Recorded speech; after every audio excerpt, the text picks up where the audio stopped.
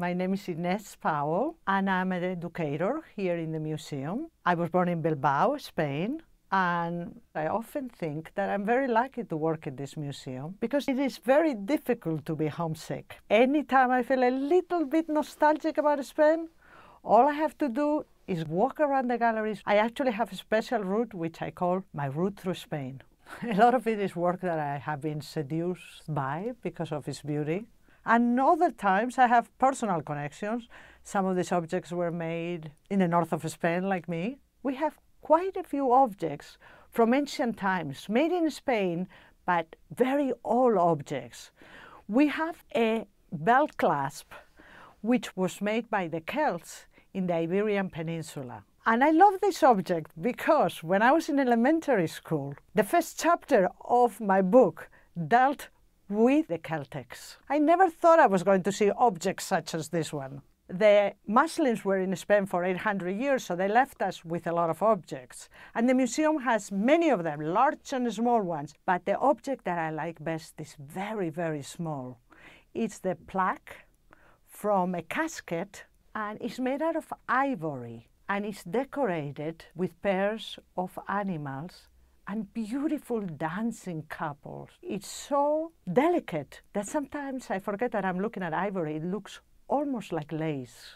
From that very small object, I like to go to what I consider, and I really think it is, the largest object from Spain in the Metropolitan Museum, the patio from Vélez Blanco. I love the space. I find the space so elegant, so full of air. And at one point, I became so obsessed with the courtyard that I traveled to Spain and I wanted to see what was left of the castle itself. So when I went to the village of Vélez Blanco, it seems that half of the village, including the mayor, came to see me because I was coming from the Metropolitan Museum of Art. After a while, they told me that they all wanted to come to see our patio.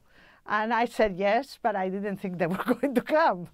And about a month later, I got an email saying, 15 of the citizens of the village of Vélez Blanco will be in New York in two weeks.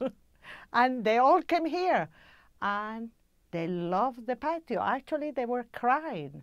They felt that we took care of the patio for them, that if it hadn't been in New York, it would have been destroyed. It was very touching to be with all those people here in New York.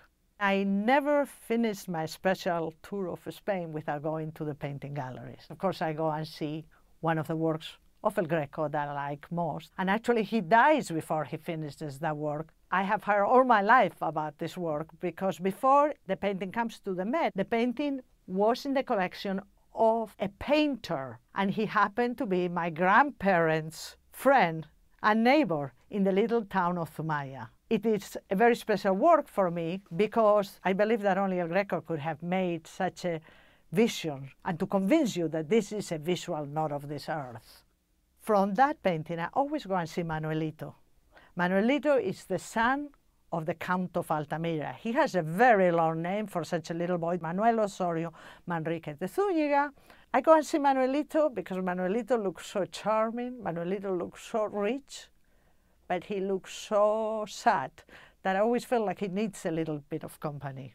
Once I finish the walk in the museum, it's like I have been already in Spain, at least for a few minutes, and I could go back to New York and enjoy everybody's culture.